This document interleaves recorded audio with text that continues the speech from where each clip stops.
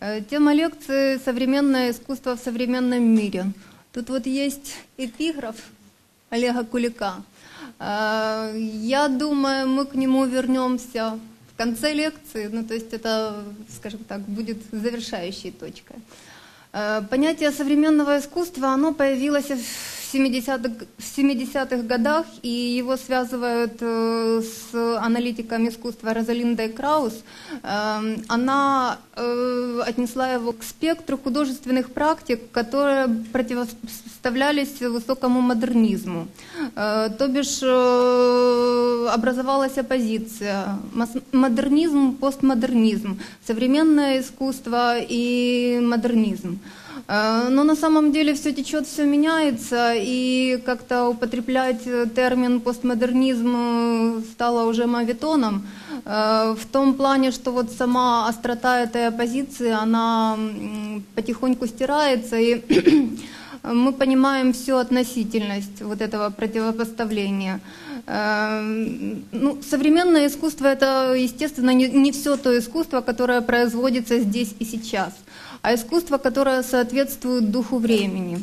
И существуют, э, конечно, определенные критерии соответствия.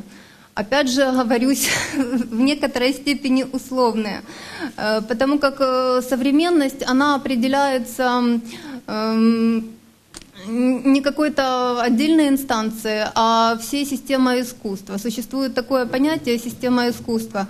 Эм, Галереи, рыночные институции, нон-профитные институции, э, то есть э, весь спектр рыночных и нон- нон-профитных институций, в которые, с которыми работает художник. Вот. И, естественно, понимая это, мы понимаем, насколько вот, относительно само понятие современности. Тут я могу даже провести аналогию с, относитель, с относительностью, допустим, цены или там художественной ценности искусства. Э, То есть это очень субъективно и зависит от э, многих субъективных факторов. Ну вот, э, к примеру, я как э, в качестве куратора сталкиваюсь с э, необходимостью выбора э, художников для определенных проектов и м, понимаю, что, в общем-то, э, при выборе руководствуюсь своим собственным вкусом. Э, Понятию современного искусства синонимично еще несколько понятий. Вот актуальное, критическое искусство, экспериментальное искусство. Актуальное искусство это понятие было наиболее употребительным, э, особенно в 90-е годы, ну, в частности на Украине.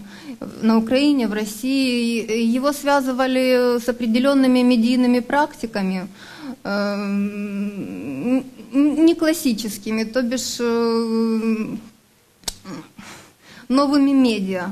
Э, Хотя, естественно, медийная актуальность это не критерий современности, а скорее, ну, скажем так, фактор моды. И мода меняется. Э, Мода, допустим, на видео, которая была явной в 90-е, сейчас э, потихоньку как-то спадает, и уже традиционные ви- виды искусства снова выходят на сцену и вновь они признаны актуальными. Понятие критического искусства, оно является уже более прозрачным и связано с критикой э, различных систем социальной, политической, художественной. Э, Но опять же, мы возвращаемся к тому, что все, в общем-то, э, взаимообращаемо и все относительно. Э, Сейчас много пишут о том, что художники так называ- называемого левого дискурса, которые делают себе карьеру именно вот, посредством этой стратегии э, в конце концов э, превращают эту критику во вполне востребованный рыночный товар. Что, в общем-то, тоже, естественно, все, что так или иначе включено в систему, в систему рынка, оно покупается и продается. И радикальность э, на самом деле тоже успешно продается. Ну, хрестоматийный пример тому, это, допустим, граффити Бэнкси, которые снимают со стен и продают на, аукц... на аукционах. Или же их просто консервируют, поскольку власти Бристоля э, зарабатывают огромные деньги за счет э, притока туристов. Э, понятие экспериментальности, экспериментального искусства. Когда я попыталась создать у себя в галерее программу поддержки молодых художников пространства эксперимента, я как-то поневоле э, задумалась над темой экспериментальности, что, в общем-то, она означает сегодня. Э, в то время, когда, по сути дела, все уже было. Из этого вывод напрашивается только один. В принципе, инновационность, экспериментальность, э, новизна — это новое, это хорошо забытое старое. То есть э, э, рециркуляция идей. Ничто на самом деле не является новым. Ну вот и на мое понимание современности искусства э, повлияло две статьи Бориса Гройса, они разные по времени, одна более ранняя, 96 -го года, она так и называется. Что такое современное искусство? Э, то бишь, э, современное искусство – это искусство, которое все время находится в каком-то перманентном тупике, перманентном кризисе и постоянно тематизирует вот тупиковость ситуации. Эта тупиковость дает возможность двигаться куда-то дальше. Ну, ну вот у меня есть еще кусочек Гройса, я прочту. Э, темой серьезного искусства является смерть, причем не чья-нибудь, а его собственная. То есть невозможно больше так жить. Э, если мы вспомним все произведения современного искусства, которые когда-либо в современную эпоху имели успех, начиная с работ Мане, это невозможность рисовать новые картинки, когда уже были старые. Это невозможность рисовать что-либо вообще, черный квадрат, например. Это невозможность рисовать даже черный квадрат. Это невозможность выставлять что-либо. Остаются голые стены э, в минималистских инсталляциях. Невозможность отделиться, отделить музей от мусорной кучи. В результате появляется мусорная куча в музее. Это невозможность отличить э, и так далее, от одной невозможности к другой, от одной смерти к другой, от одного тупика к другому. Мы получаем один большой тупик, одну большую невозможность и одну большую смерть, которая называется современное искусство. Э, звучит на самом деле довольно пессимистично, но именно в этом пессимизме и кроется такой скрытый оптимизм. То бишь современное искусство – это не искусство, которое тиражирует э, какие-то традиционные формы и идеи. Эм, в отличие от классического искусства, оно опирается не на традицию, а на, постоянный, на постоянное ощущение вот именно этого перероста традиции и желания как-то двигаться дальше. Э, если представить себе некое условное тело искусства, то оно не будет стабильным в пространственном измерении. Оно, ну как это, flexible, оно то расширяется, то сужается, перерастает себя самое и постоянно ощущает э, вот эту вот э, загнанность в тупик. В 90-х годах еще очень модно было в связи с этим упоминать и цитировать Сьюзен Зонтак и ее парадигму расширения границ. Э, то есть современное искусство – это искусство, которое постоянно приступает собственные границы, выходит за них. Эм, выйти за границы искусства, ну тут э, понятно, возможен только один ход – шагнуть в жизнь. Эм, то есть э, вместо классического эстетического опыта э, наблюдения со стороны, э, какой-то отстраненности, дистанцированности, оно напрямую включается э, скажем так, переживает совсем другой опыт. То бишь опыт э, непосредственного включения в жизнь со всеми э, его, ее, ее чувствами, ощущениями, муками, болью, радостью, эмоциями, переживает массу новых ощущений, эм, видит и банальное, уродливое, ужасное, все виды развлечений, э, скуку. Скука вообще это некий фетиш современного искусства. Вот есть такая цитата Энди Орхола, который императивно утверждал, искусство должно быть скучным на самом деле э, то есть появляется некое такое неразличение жизни и искусства. Ну вот э, в дальнейшем, в дальнейшем э, как-то я, я в своем понимании э, современного искусства столкнулась еще одним текстом Бориса Гройса. Это текст из сборника «Комментарии к искусству» о, то, о двух контекстах которые являются на самом деле э, соединенными сосудами. Э, это, это, это жизнь и искусство. Это два соединенных сосуда, которые в принципе, в которых в принципе поддерживается постоянный уровень жидкости. И сам вот э, акт творческий заключается в переходе из одного контекста в другой.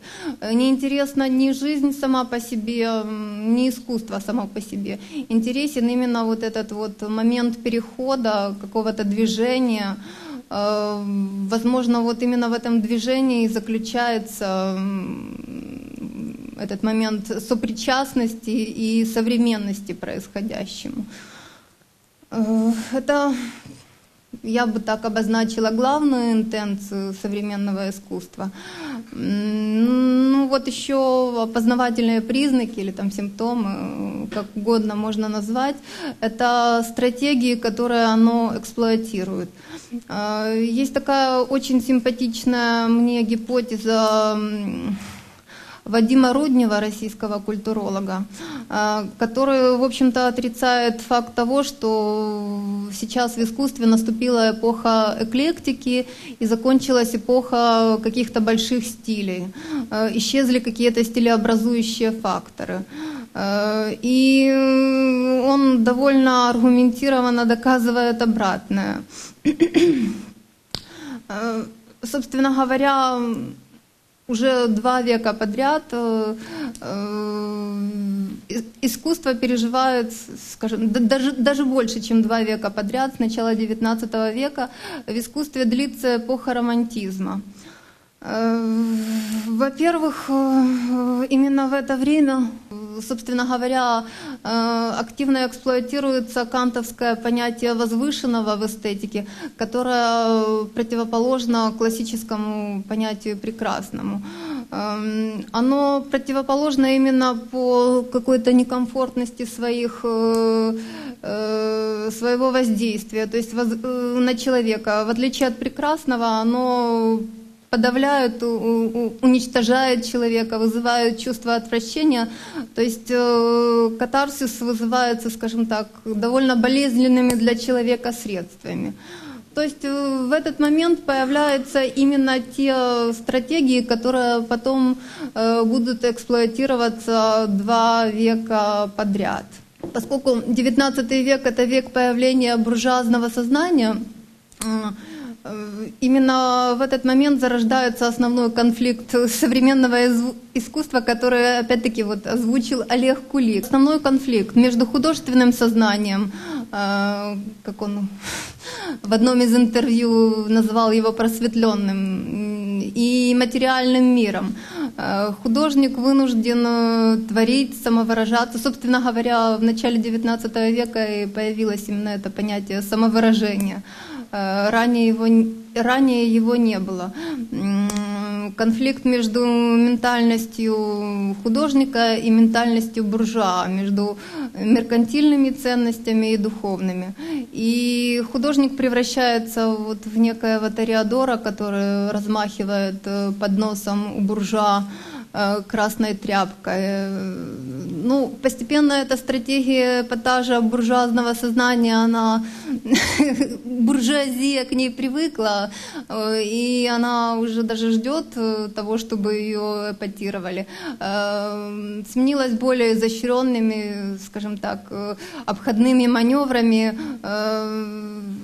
ну, обходными, подрывными, как угодно. То есть вместо уже какого-то прямого воздействия, прямого удара появляется стратегия иронии. Э, когда художник якобы отождествляется там, с миром буржуазных ценностей, э, но в то же время и критикует. То есть э, так или иначе он вынужден жить в мире двойных стандартов. Ну, именно в мире двойных стандартов и в мире критики э, вот этих основных буржуазных ценностей, э, э, идолов поп-культуры. Это смерть, тело, секс и деньги. В принципе, я решила построить рассмотрение материала дальше вот именно по этому принципу. С темой смерти ассоциируется творчество Демиана Херста. Э, если вы знаете, выставка его была не так давно в Пинчук арт-центре. Э, это очень известный художник, скажем так, один из самых дорогих в современном мире. И вот здесь я процитирую все-таки Кулика. И вот что же дел, делает Хёрст? Он, конечно, находится в этом реальном мире и не знает, как из этого мира наживы выйти. Невозможно ничего противопоставить, трудно что-то доказать. Э, тогда он доводит ситуацию до самоубийства, показывает как бы такое духовное искусство, на которое требуются деньги, воплощенное в абсолютно бездуховную мертвую вещь. Э, в основном э, Херст работает с чучелами животным.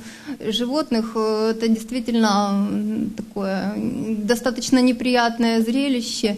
И, в принципе, в некоторые залы Пинчукар-центра надо, надо, надо было заставить, сделать над собой усилия для того, чтобы заставить себя войти и походить там среди этих воняющих мух в формалине. Но, тем не менее, вот он один из самых радикальных художников, который вещает нам вот эти вот истины о жизни и смерти, о близости смерти в каждый момент жизни, э, о религии смерти. У Херста очень интересные инсталляции с таблетками, то бишь э, вот, полочки таблеток, э, как некая современная религия, фармацевтика. Но вот это самая дорогая его работа из его работ, которая была продана по-моему, за 100 миллионов череп, инкрусти... Э, платиновый череп, инкрустированный бриллиантами за 100 миллионов долларов.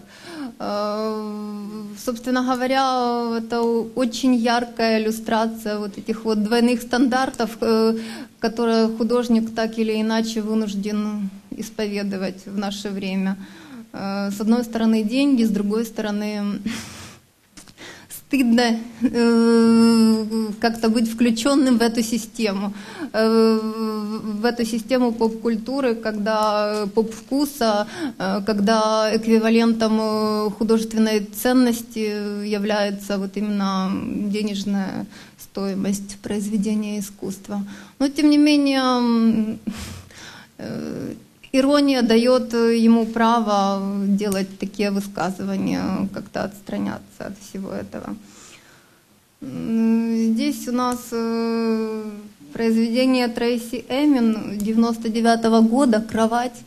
Э, за нее она, кажется, получила премию Тернера. Такие художники, как Трейси Эмин, ну, в основном это женщины, выразили еще один конфликт этой буржуазной эпохи, конфликт между телом, которое, в принципе, уже не принадлежит человеку, какой-то отчужденной телесности.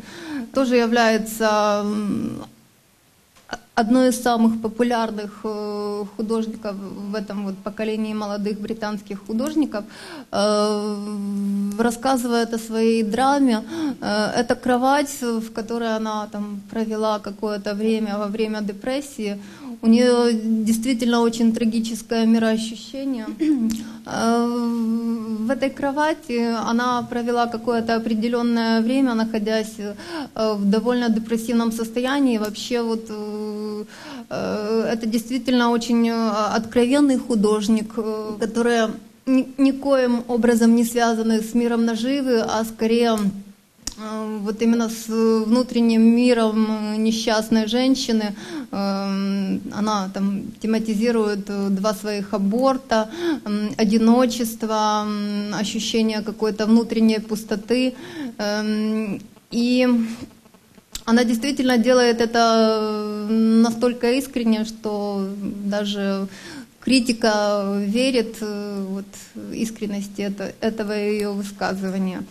А, ну вот э, тут еще одна, еще одна работа Трейси Эмин, все, с кем я когда-либо спала а, на протяжении какого-то времени, я не помню, какого времени она спала. А, это палатка, в которой вышиты имена всех ее любовников, близких людей, эм, брата. У нее достаточно трагическая, э, ну, не трагическая судьба, но на самом деле она была внебрачным ребенком вместе со своим братом, и э, достаточно сложное детство, в детстве подверглась сексуальному насилию. В общем, все вот эти вот перипетии и сложности она пытается выплеснуть в искусство, делая вот такие вот трогательные, откровенные произведения. Это Синди Шерман, которая тоже на протяжении всего своего э, творчества пытается осмыслить себя и э, в какой мере э, она является сама собой, а в какой мере играет э, социальные роли. То есть вот этот вот момент социальных условностей и какой-то внутренней подлинности, он постоянно э, тематизируется. Это ранняя ее серия «Стилы из фильмов». Э, здесь она снимает сама себя в разных э, амплуа. На самом деле это вымышленные ситуации, вымышленные персонажи. Э, но тем не менее зрители в каждом персонаже там, узнают какие-то прототипы поп-культуры. Это, это всегда на что-то похоже, так или иначе. Еще один очень важный для понимания современного искусства нюанс. Э, это противопоставление может быть довольно искусственное, может быть довольно условное э, современного искусства и авангарда. Ну, то, с чего, то, с чего начиналось. На самом деле сейчас, в смысле, то, с чего я начинала свой рассказ, на самом деле сейчас это уже, это противопоставление кажется надуманным. И, в принципе, вот две линии, там, Дюшановская э, и линия Малевича, там, дадаизма и модернизма, на самом деле они э, переплетаются и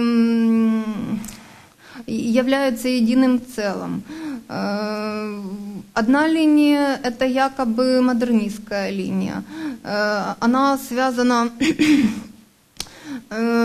скажем так, э, это, это противоположная вот этой вот э, тенденции расширения границ э, искусства линия, которая наоборот сужается. Это линия эстетического редукционизма, герметизма, чистого искусства. Искусство этого направления, оно избавляется от всего, что не связано, скажем так, со специфичностью художественной формы. Вот у нас идет цитата. Цитата из Казимира Малевича, родоначальника этой линии. Э, в десятых годах XX века он изобрел супрематизм как направление в авангардном искусстве. Э, от латинского «supremus» наивысший. Э, то есть э, здесь речь идет об эмансипации цвета. Существовали определенные правила, которых, которые были разработаны Малевичем и которых он придерживался. Это белый фонд, который должен был обозначать некую космическую ну, скажем так, э, собственно говоря, это и была Вселенная, символ Вселенной. И вот такие вот динамичные цветовые пятна. То есть э, тут э, действительно речь идет о том, что цвет должен освободиться от предметности и вот совершить некий, как он писал, шаг чистого творчества. То есть акт акта, который уравнивает творческую силу человек, человека и природы. Вот здесь заложено некое божественное начало. Аналогичные вещи делал практически в то же время Пит Мандриан, родоначальник неопластицизма. И, собственно говоря, эта линия неопластицизма, она действительно так или иначе развивалась э, на протяжении э, всего 20 века и вплоть до нашего времени. Это тоже некая утопия новой пластической культуры, вот, э, белый фон, который символизирует Вселенную, э, вот эти прям, прямые линии и только три цвета, желтый, красный, синий. Э, то есть здесь аскетизм высказывания, он, э, в принципе, еще э, более точен, чем у Малевича. Аскетизм, редукционизм, упрощение языка. Это упрощение языка художественного э, было доведено до какого-то логического завершения или ну, не, не до завершения, но действительно до какой-то логической законченности высказывания ми, минималистами. Э, здесь на этих слайдах э, работы Тони Смита, э, который, в принципе, ну, это не самая характерная для него работа. Он изобрел некую универсальную, тоже как, как и Малевич изобрел черный квадрат, универсальная форма. Так у Тони Смита это были черные кубы полностью, форма полностью очищенная от предметных ассоциаций и резервуар э, каких-то ассоциаций, но уже беспредметных, э, таких довольно отстраненных. И вот э, как продолжение вот этой абстрактной линии, то, во что это трансформировалось сейчас. Э, работы Сары Моррис, э, которая, начиная с середины 90-х годов, делает вот такие вот абстракции. Но, тем не менее, эти абстракции здесь язык уже не настолько строг, не настолько рафинирован. А, это все живописные работы по мотивам архитектурных серий. То бишь вот эта вот э, решетка, она ассоциируется у нее э, с мегаполисом современным, э, с ритмом большого города, с каким-то таким непрекращающимся движением наряду с такой вот геометрической абстракцией э, очень-очень э, важными были разновидности, э, другие разновидности абстракции. Вот, например, вот мы подобрали двух наиболее характерных, по-моему, с моей точки зрения, художников-абстракционистов. Это представители американской action painting Джексон Поллок и Марк Ротко.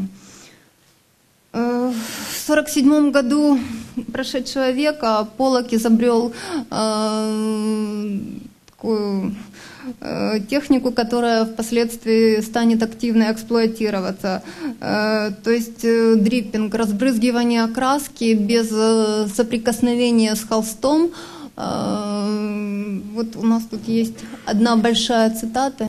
Ключевые слова здесь, наверное, это быть внутри живописи. То есть это такой спонтанный способ творчества, который не, предполагает э, э, какого-то рационального начала. То есть это, это э, абсолютно спонтанный творческий жест, который был единожды открыт и потом э, активно эксплуатировался. Э, Еще очень э, важный, важное открытие для дальнейшей судьбы э, абстракционизма – это живопись цветовых полей Марка Ротко. В 50-х вот он вообще довольно поздно пришел к этому своему зрелому стилю. Во второй половине 50-х, 60-х он заполняет пространство полотна вот такими зависшими цветовыми плоскостями, которые называют цветовыми полями. И при этом он, в принципе, даже и отрицал то, что э, природа его живописи без, беспредметна. То есть сам он видел в этом некие э, предметные ассоциации, которые, впрочем, публично не разглашал. Э, хотя, возможно, это была и мистификация. И, и еще раз по поводу, я бы хотела э, высказаться по поводу вот этого вот искусственного разграничения двух, э, двух разных линий, э, дюшановской и формалистичной. Марсель Дюшан, безусловно, совершил переворот в сознании эстетическом, и можно сказать, можно сказать, что это был эпохальный э, переворот, одно из главных ноу-хау 20 века. Э, то бишь ready-made, э, готовый объект, перенесенный в контекст искусства из контекста жизни. Собственно говоря, это сразу объяснило многое. Что есть современное искусство? Игра с контекстами, вот некий трансфер, перенесение банального бытового предмета в музейный контекст сразу превращает его в объект искусства. И вот эта самая его знаменитая работа «Писсуар». В музее Э, искусство в быту это понятно что, хотя, впрочем. Искусство на самом деле заключается в том, что вот э, мы берем там писсуар, стакан, сушилку для бутылок, э, любую банальную вещь и помещаем ее в музейный контекст. И сама процедура перемещения придает любой банальной вещи статус произведения искусства. Вот все, все гениальное просто. Вот некая процедура, которая э, вот основное его открытие — это изобретение художественного тиражирования. Э, то бишь методом шелкографии он э, тиражировал иконы иконы общества массового потребления, будь то Мэрилин Монро или банка супа Кэмпбелл или что угодно, там страницы э, каких-то криминальных хроник, э, ну, еще в 30-е годы Беньямин э, создал очень известное эссе, которое влияет на наше понимание искусства сегодня, произведение искусства в эпоху технической репродуцируемости. Э, речь идет о том, что произведение избавляется от своей ауры. То бишь э, факт репродуцирования превращает его, опять-таки, в некий банальный объект, который, тем не менее, помещенный э, в стены галереи или музея, становится произведением искусства. Э, еще один представитель очень известный этой попартовской линии, Джефф Кунс, э, как он сам пишет во многих интервью, в детстве на него произвели неизгладимое впечатление вот эти вот шарики длинные, такие, такие да, сосискообразные. Вот. И он делает скульптуру большого масштаба, вот этих зайчиков, собачек. Э, э, тоже на самом деле стратегия та же, э, воспроизводство неких таких поп-фетишей, символов массовой культуры. И, в принципе, каждый из этих художников, он работает с одним и тем же материалом, с массовой культурой.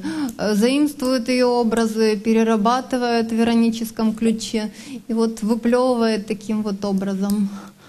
Э, «Сердце», которое тоже было продано. Джефф Кунс один из самых дорогих художников современности. И, в принципе, он так же, как и у Орхола, у которого, который первым эм, применил скажем так, э, фабричный метод производства, его ателье, э, свое ателье он назвал фабрикой, и там действительно работало определенное количество людей.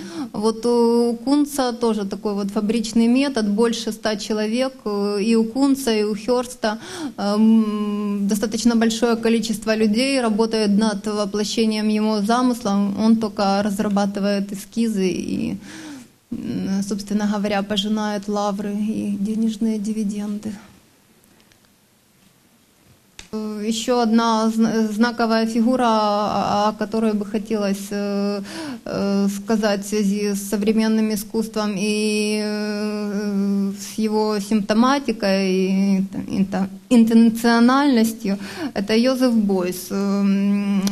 Важность концепции для современного искусства. Собственно говоря, две, две составляющие. Концепция и форма в современном искусстве, как правило, концепция превалирует и является более ценной. Опять же, это такое э, гипотетическое утверждение, можно соглашаться, не соглашаться, но тем не менее такие харизматичные личности, как Йозеф Бойс, э, как-то прочно закрепили это в художественном обиходе. Э, здесь у нас рояль из войлока.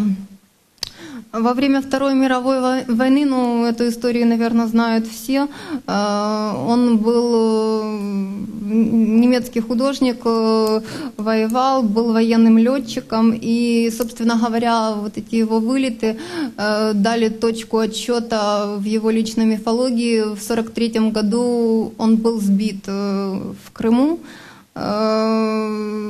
его подобрали татары, отогрели, отогревали какими-то шаманскими способами, натирая салом, э, заворачивая в войлок. И, и с тех пор он пытается вот эти вот методы привнести в искусство, скажем так, э, некие шаманские практики, которые возвращают искусству э, его изначальную оторванность вот от каких-то эмоциональных, магических корней. Вот здесь у нас э, рояль, оббитый войлоком. То же самое. Ну, войлок, жир, мед, для него это, собственно говоря, э, такие э, основные, основные материалы, они же символы. Э, следующий, следующий пункт. Э, для, для современного искусства характерен для этого его момента преступления границ, расширения сознаний, э, сознания характерен выход за пределы каких-то традиционных практик. Я об этом уже говорила. И очень-очень распространенными практиками являются акции, перформансы, хэппининги. Но в качестве примера мы решили подобрать венский акционизм. Как скажем, скажем так, один из самых, одно из самых радикальных проявлений. Э, в 1965 году венскими художниками э, была создана группа, э, ну, ее участники неоднократно подвергались какому-то криминальному преследованию за свои акции. И, в принципе, действительно, само это зрелище выглядит, скажем так, довольно устрашающе. Э, художники, вот это вот, э, скорее всего, акции Германа Ницше, э, который делал некие дионисийские мистерии. То бишь тут речь идет об искусстве, как, опять же, можно провести параллель с Бойсом, который возвращался к некому шаманизму, к, к утраченным основам. Здесь он проводит параллель с дионисийскими мистериями. То есть это такие вот довольно устрашающие акции жертвоприношениями, э, с кровью, с тушами разрезанными животных. Вот. В общем-то, искусство, искусство того времени, естественно, оно было очень политизированным. Эм, обстановка накалялась, и помимо этого Э, искупление исторической вины. То есть, в принципе, тут было очень много факторов, которые эм, ну, как, влияли на вот эту вот экзальтацию. И действительно, эксцессы там были не шуточные, не детские. Так, один из эм, членов этой группы, Гюнтер Брюс, тоже один из его таких хрестоматийных перформансов, э, резал, резал себя, пил собственную мочу, э, мастурбировал, распевая гимн Австрии. Ну, за все это, естественно, они подвергались преследованиям. Э, радикальные акционисты и, и тогда, и сейчас, в принципе, многие из них э, имеют уголовные дела. Это, скажем так, деятельность с риском для жизни и для свободы художника.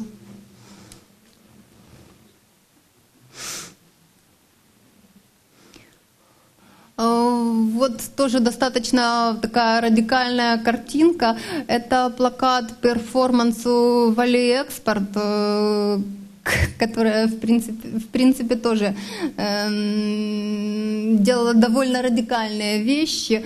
Э, в 1969 году в музее кино в Мюнхене она осуществила акцию, которая называлась э, «Генитальная паника», то бишь прошлась по рядам э, музея вот в таких вот джинсах с вырезанной промежностью. А, это плакат к этой акции. Здесь она сидит в такой вот демонстративно э, эротической позе с автоматом. Э, таким образом, она якобы э, отказывается от роли женщины-жертвы и берет на себя совершенно другую социальную, гендерную роль.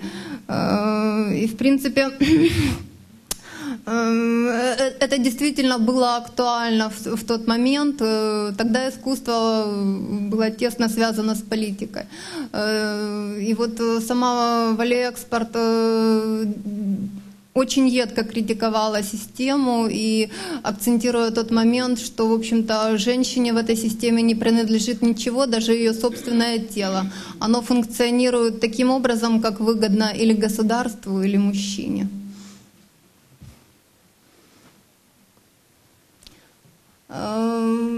Вот э, это, это акция тоже Вали Экспорт э, с Петром Вайбелем. Эм, вот такой человек-собака. Э, собственно говоря, можно провести параллель с последующей акцией Олега Кулика уже, российского художника, одного из самых известных перформеров. И, собственно говоря, действительно, он тут вел себя как собака, кусал, нападал. Э, в принципе, на этом он и сделал свою карьеру, имя. Э, поговорив об основных тенденциях, можно еще кратко остановиться на э, видах современного искусства, как, как это все выглядит сейчас. Э, в этом есть свои нюансы. Это фотография Андреаса Гурски, одного из самого известного э, фотографа современности. Цифровое фото, э, смонтированное компьютерным способом. Э, начиная со второй половины 90-х э, Андреас Гурский применяет компьютерный монтаж для достижения вот этого вот эффекта панорамности видения.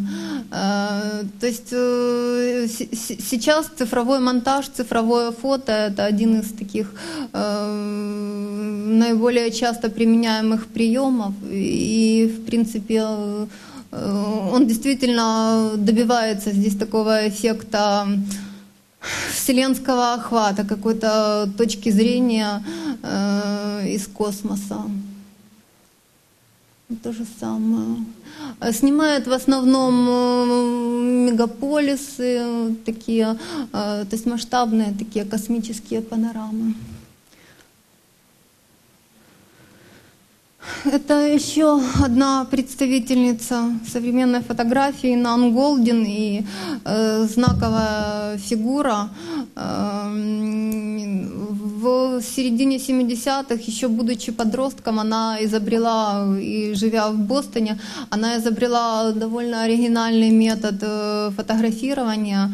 Э, после бурных вечеринок э, ей было сложно вспомнить происходящее, поэтому дабы восстановить эти провалы в памяти, частичную амнезию, она стала фотографировать э, все те вещи, которые считались бытовыми, низменными, вульгарными, вечеринки, быт, э, секс, ну, все, все вещи, скажем, которые до этого не были достоянием общественности.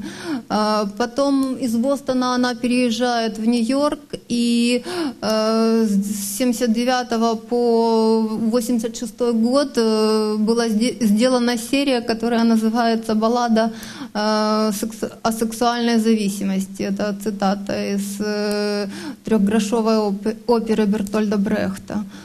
Ну, тоже персонажи Нью-Йорка, фрики, трансвеститы, наркоманы, ну, богема, мягко выражаясь. Тем не менее, это действительно портрет современного общества, и, в принципе, ее заслуги перед э, фотографией не, не, неоднократно были признаны. Это один из самых известных фотографов.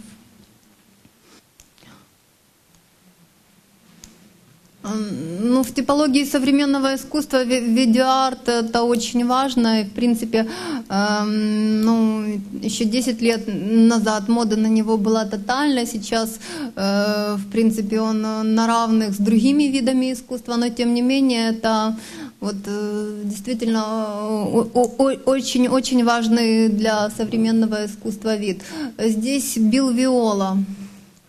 Еще, э, еще будучи ребенком, э, он чуть не утонул, и это опять же как вот у Бойса его э, катастрофа, авиакатастрофа, это был некий переломный момент, который стал точкой отсчета для его мифологии.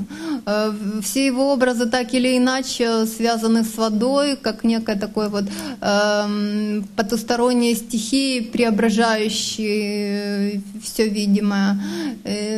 И действительно очень монументальный эм, стиль, который связан, э, как это не парадоксально звучит, э, с какими-то вечными ценностями, вечными эмоциями. Э, не зря Биллу Виоле заказали иконы, видеоиконы для собора Святого Павла в Лондоне. То есть это действительно современное искусство, которое, тем не менее, успешно внедряется и вот в контекст такого сакрального искусства. Э, везде фигурирует э, некий персонаж, который или всплывает из воды, или погружается в нее. Такие вот воды забвения или очень сложная метафора, ее невозможно как-то однозначно исчерпать.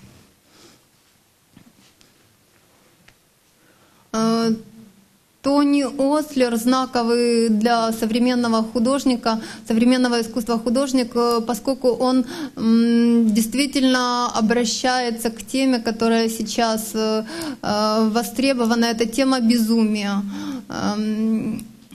Шизофрения действительно стала социальной болезнью современной культуры.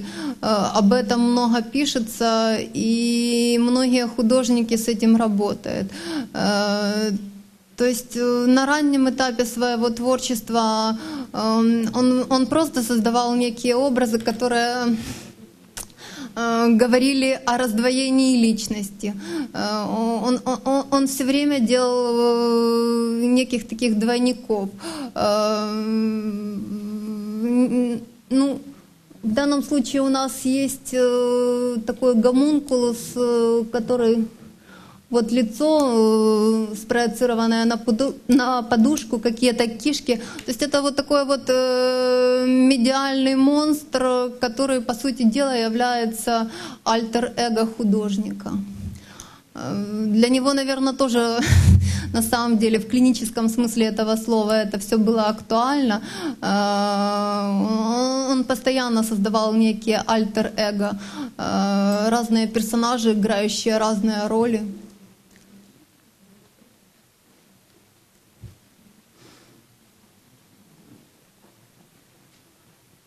Причем проецировались не только лица, части тел, вот э, такое искусственное существо.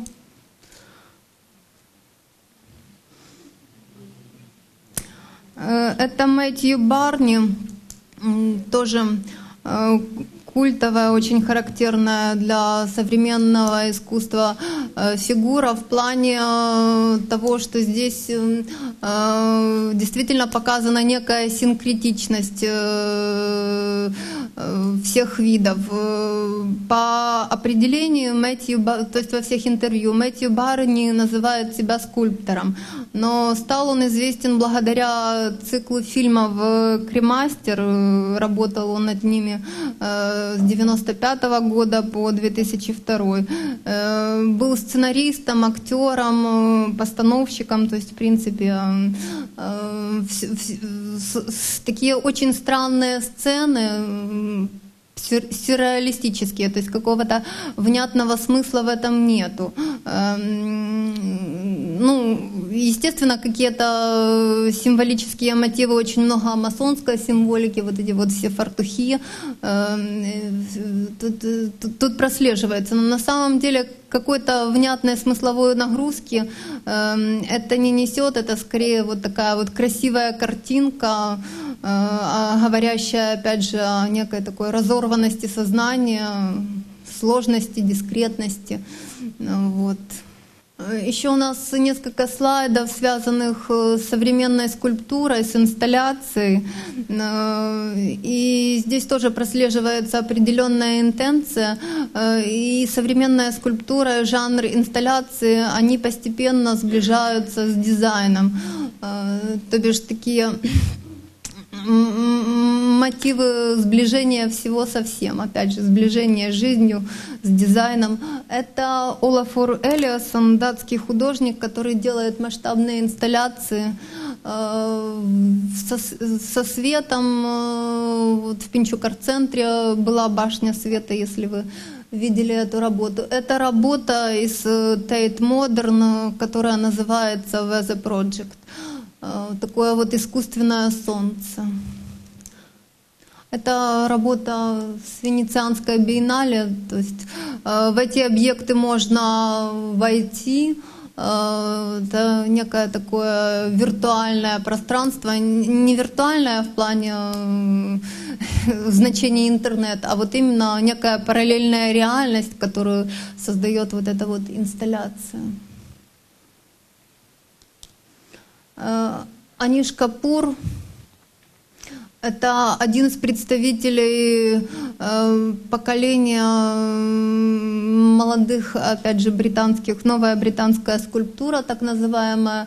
Эм, Эта работа была установлена, кажется, в 2004 году э, в парке Миллениум в Чикаго. Называется «Врата облаков». Э, То есть вот такая вот масштабная скульптура, объект, э, ну, элемент дизайна. Современная скульптура, она сложно действительно поддается какой-то, какому-то опознанию, дифференциации. Ее сложно...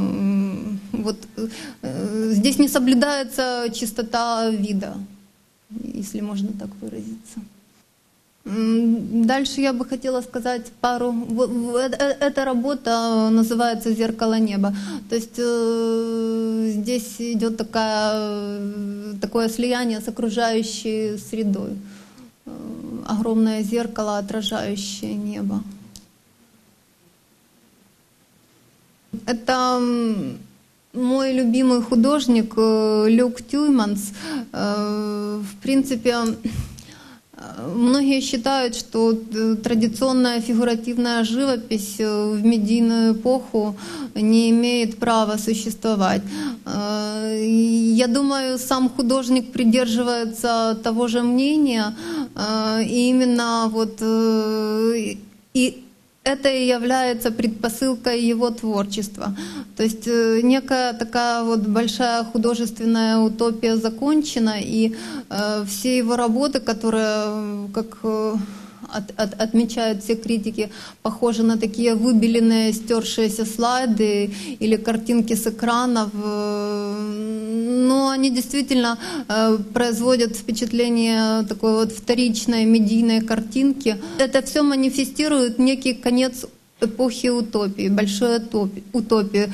Он говорит, э, э, говорит об этом во всех своих интервью, э, о том, что в принципе он работает э, наперекор дню. Так называлась его выставка в рамках э, последней московской биеннале э, вот, э, на Красном Октябре. И, и действительно, живопись анахронична, эм, в какой-то сте- степени несовременна, но тем не менее она вот имеет право на существование.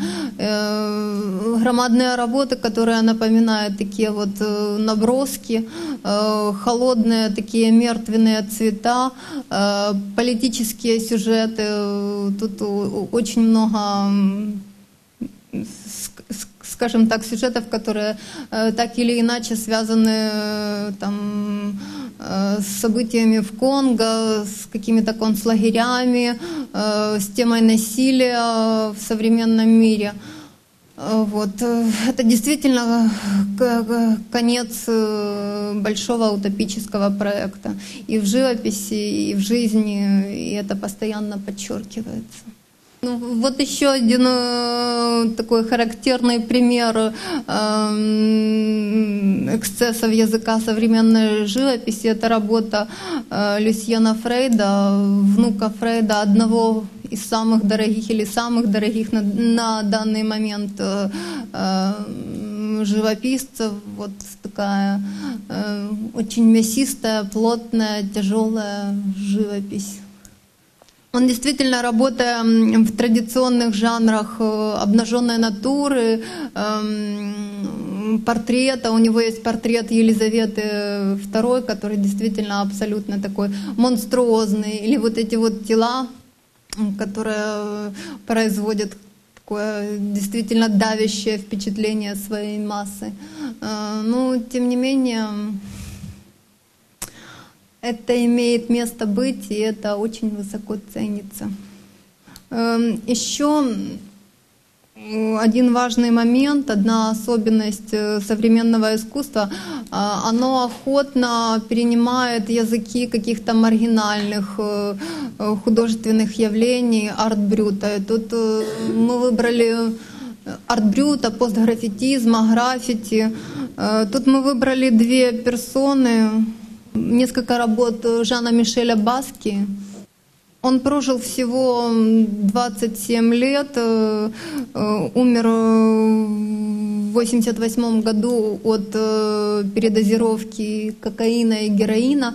Эм, Начинал как граффитист на улицах Нью-Йорка, потом был замечен художественной системой, поучаствовал в выставке Times Square Show, и это действительно ныне один из самых значимых э, художников э, поколения неэкспрессионистов, наряду с Шнабелем, Салли, Клименте и так далее. Э, Вот действительно обычная граффити, вот эта спонтанная, э, непосредственная манера э, выражения, э, этот брутальный язык э, охотно апроприируется художественной системой. Это действительно такая свежая кровь, которая обновляет систему. Э, Здесь работа Бэнкси. Э, Это псевдоним э, скандально известного граффитиста.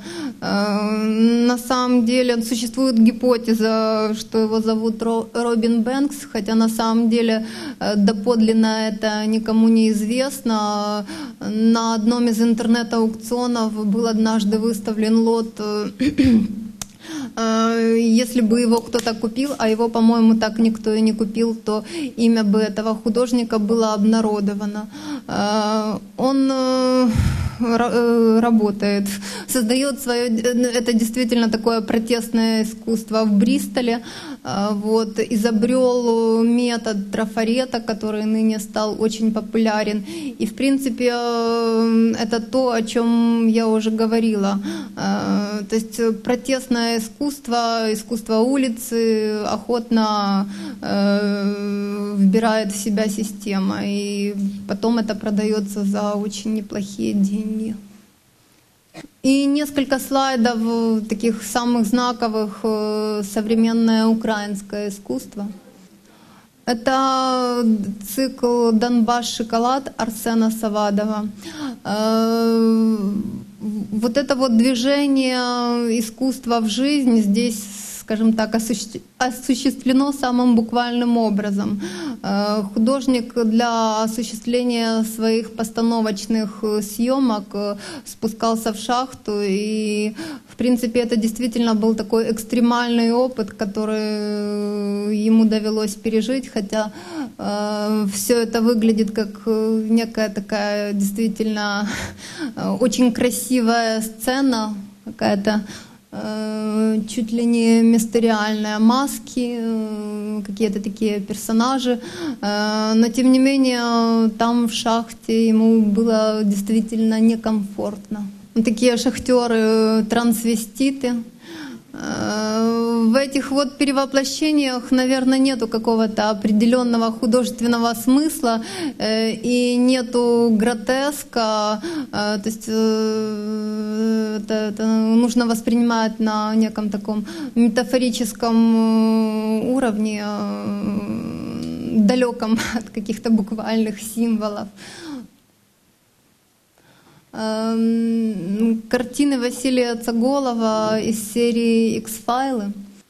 Если, если, скажем так, э, Арсен Савадов, да, смешные, смешные инопланетянчики, сосущие свинку. Э, Если Арсен Савадов э, сформировал язык э, э, такой э, современного постановочного фото, фото, скажем так, наиболее известен э, в этой области, то Василий Цаголов со сходными же принципами работает в живописи. С одной стороны, это вот такой вот гротеск, такая черный юмор, можно сказать даже. Но тем не менее, все это накладывается на великолепное владение кистью, мастерство э, и такой довольно отстраненный холодный взгляд. Ну вот и- и- и это его инсталляция «Лебединое озеро». Э, То есть вы можете составить такое общее представление о э, тематике. Шахидки, балерины в поясах шахидок. Э, Спящие принцы Украины Ильи Чичкана. Ну, здесь тоже вот эти вот эпатирующие 90-е. э, На самом деле это такие э, биологический материал, если это можно так назвать. Это реальные зародыши, вот эти вот украшенные драгоценностями. Э, В принципе, все это связано с темой Чернобыля, отдаленно, ассоциативно. И помимо какой-то такой внешней, внешней эпатажности в этом существует глубокий художественный смысл. Опять же, работы Ильи Чичкана Э, здесь проводятся параллели с фэшн-стилистикой, э, с глянцевыми журналами, э, то бишь, собственно говоря, вот этой вот поп-культурой и современным искусством. Серия называется ПВО, кажется, противовоздушная сил противовоздушная оборона, да, да, да. Здесь простым людям, люди такие, такие какими они есть, предлагается э, инсценировать по шаблонам из глянцевых журналов определенные сцены. Вот э, шаблон и, собственно говоря, реальные персонажи. Это группа рэп, э, скажем так, молодое поколение современного искусства Украины. Э, они появились в 2004 году на волне оранжевой революции, когда э, собственно, в Центре современного искусства и произошла выставка под названием «рэп. Революционное экспериментальное пространство». Вот. В дальнейшем они то есть часть группы отсеялась, часть э, сохранилась, наиболее стойкий состав э, работает с темой так называемого национального патриотизма. То есть это такой вот проект, э, который они реализовывали в разных местах и в Украине, и за рубежом. А, они изобрели так называемый язык патриотизма, вот такие какие-то э, пиктограммы, которые символизируют определенные аспекты украинского менталитета. Э, то есть каждое изображение имеет определенный, несет определенное значение, это определенный символ. Но на этом у нас визуальный материал закончился. Вот. Я хотела бы вас поблагодарить и э, выслушать вопросы, если таковые будут. Конечно, понимаю, что вот цель современного искусства – это шокировать людей. Это хорошо, конечно, когда люди создают, экспериментируют, стремятся к чему-то новому. Но хочу цитировать слова знаменитого русского художника Василия Дмитриевича Полева, который говорил, что искусство, если оно не приносит радости, ничего не стоит.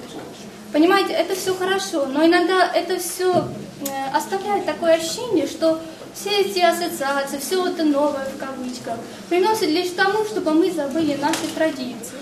Понимаете, это все останется, конечно, в прошлом, но останется, конечно, для будущего лишь то, что было создано для красоты, для людей, для вечных ценностей. Это разные плоскости культуры, и мне кажется, их даже сравнивать не стоит абсолютно. Э, те ценности эти, они абсолютно несопоставимы ни по каким критериям.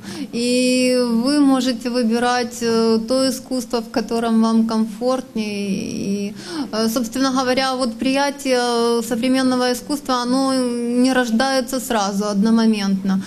Тут нужен некий опыт вот, действительно довольно длительного соприкосновения соприкосновение с ним, э, для того, чтобы понять, что это действительно очень искреннее э, и искусство, которое действительно отражает реальность, вот как-то преломляет ее такой, какой она есть на самом деле, без э, спецэффектов, которыми пользуется масс-культура.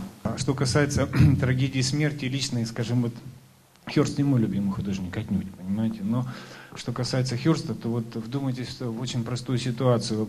Как бы вас шокирует, э, и шокировали все английское общество. Зеленые всерьез хотели самого Хёрста вот так за формальдегид опустить. Английские зеленые. Я читал статьи тогда в Independent, как бы это было происходило в Англии на моих глазах, 92-91 год то когда вы берете прекрасно сделанную рукописную книгу средневековую, помните о том, что цена этой книжки как минимум 50-100 телят убитых, а книжка сделана из их кожи, и это тоже, между прочим, часть эмоций, которые вы получаете, беря в руки эту книгу. Эта книга сделана на коже убитых телят. И позволить себе такую книгу мог только очень богатый человек, намного богаче, чем тот, который сегодня может позволить себе купить череп Херста. Понимаете, потому что в то время забить 60-70 телят книги порой делались несколькими поколениями богатых людей, потому что одного поколения богатых людей денег на, на такую книгу не хватало. Вот, поэтому как бы все на самом деле намного шире. И мы сейчас здесь присутствуем при, в очень простой ситуации. Нам чуть-чуть приоткрыли дверь, что может быть действительно э, там есть разные вещи. Между прочим, как и в древнем искусстве, и в старом искусстве есть разные вещи. Э, ну, я не буду приводить в пример, скажем, живопись Брейгеля или там еще, еще более страшного Босха. Понимаете, посмотрите внимательно на Брейгеля, посмотрите на срущего мужика под виселицей. Понимаете? И это как бы, в общем, совершенно не вроде бы облагораживающий нас элемент. Но, тем не менее, Брейгель это писал, и он считал нужным это написать в свое время. Хотя он не был активно, не позиционировался как политический художник, но, тем не менее, политика и социология присутствовала в его искусстве постоянно. Поэтому просто все, поймите правильно, все намного сложнее и шире. Если мы увидели две картинки, то, это не, то как бы по ним судить в целом о том, что происходит в искусстве. Причем я как бы не очень ну, соотношу себя с термином современное, потому что искусство оно, это на сегодня современное, а завтра то, что сегодня современное, будет уже как бы поводом для изучения историков и аналитиков. То есть это будет вчерашнее искусство, понимаете, а не современное. Это все как бы естественно. Просто я хочу призвать, просто почему я начал с того, чтобы всех успокоить, чтобы э, никто же не претендует здесь сидящих, и точно так же, как и лектор не претендовала на наши вкусы, не, она не навязывала нам вкусы, она не ставила нас в позицию, когда мы должны были ей, безусловно, верить. Нам просто приоткрыли немогучую дверь, щелочку, посмотреть, что происходит. Причем я хочу сказать, что, например, живопись э, Лусьена Фройда – это фантастически красивая живопись. И ее, к сожалению, не передает показ на экране. Это очень классическая и очень красивая живопись. А то, что в этой живописи затрагивается довольно драматично, между прочим, я, честно говоря, вообще здесь я даже и драмы особо не вижу. Но единственное, что драма между отношением человека и животного, понимаете, то есть, вот, к сожалению, у меня тут со мной ассистентка, завтра ее сюда не пустят. А то она вам тоже объяснила много о любви между людьми и животными. Так вот, я хочу сказать, что, понимаете, не все, не все всегда... Во-первых, драма, а, опять-таки, говоря о прекрасном и, и пугаясь крови, вот на этих работах этих, скажем так, австрийских акционистов, откройте на любой странице Шекспира, особенно его трагедии, и посчитайте, сколько литров крови вырывается, выливается на каждой странице. Понимаете? То есть это же тоже факт.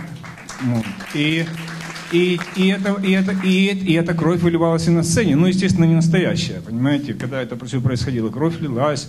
Более того, Шекспир был очень озабочен деньгами, потому что ему нужно было привлечь зрителей в свой театр, потому что ему, в общем, из королевской казны денег никто не выкладывал. Он должен был содержать себя и платить деньги актерам. Поэтому и отношения с деньгами. Если вам будет это интересно, я завтра, в общем, немножко расскажу о том, чем занимаюсь я. Но по поводу денег не забывайте. Микеланджело на самом деле любил расписывать потолки. Но пока Папа Римский не дал ему столько денег, сколько он хотел, он на потолок Сестинской капеллы не полез. У него было три прекрасных дома во Флоренции. Там жила его семья. Да, он жил в рубище, ему ничего не... Он любил живописью заниматься. Но пока Папа Римский столько, сколько он не заходил, не дал, он Сикстинскую капеллу расписывать не начинал.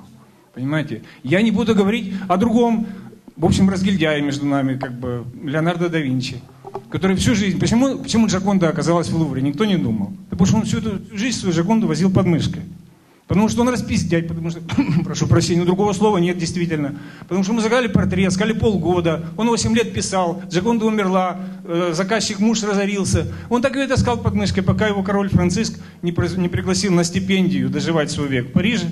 И последнее, что он делал, он делал огромную красивую лестницу в Шамборе. Это очень большой королевский замок. И делал, между прочим, тоже не за малые деньги. Понимаете, уже на старости лет он наконец-то зажил как человек. А Джаконта таким образом осела потихонечку в Лувре и осталась там. Вот. Потому что как бы это всегда вот эти вот взаимоотношения, социальный художник. Понимаете, не делайте из художников каких-то небожителей. Они вообще простые люди. И когда Леонардо, например, предлагал свои услуги миланскому герцогу, то в первую очередь шел длинный список того, как он может разрушить вражеские крепости и сколько у него для этого есть разных способов. Потом, как он может построить крепости для своего сюзерена и сколько есть разных способов. Какие способы уничтожения врага он прекрасно знает. И только потом, в конце, еще могу живописью заниматься, еще могу, между прочим, ставить театральные и фейерверки делать. Между прочим, для фейерверки для жен новых итальянцев как я это называю, он получал порой намного больше денег, чем он получил в итоге за свою живопись. Поэтому все в этом мире не так вот просто, понимаете, вот как бы. А нам сейчас просто, ну вот чуть-чуть. Приехал человек, он показал. А дальше, конечно, нужно ездить и смотреть.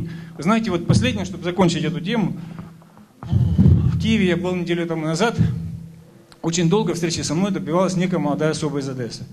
Вот я хочу вам показать свои работы, мне очень нравится то, что делаете вы, мне кажется, что это близко к тому, что делаю я. Я хочу показать молодой особе, как потом оказалось, было 22 года.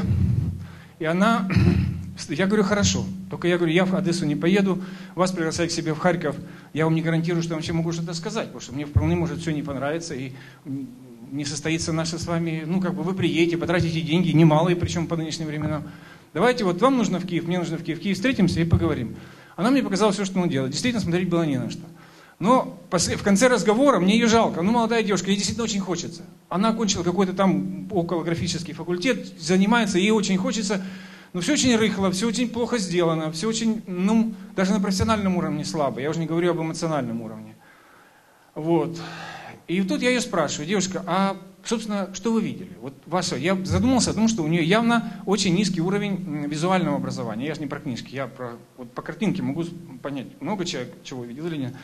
Я говорю, вы в наших музеях, я же не спрашиваю про Флоренцию, про Уфицы, там, про Британский музей, про Вашингтонскую национальную галерею. Я спрашиваю, в наших музеях были, ну туда, куда можно вот рукой достать. Вот, вот в Эрмитаж вы съездили? Нет.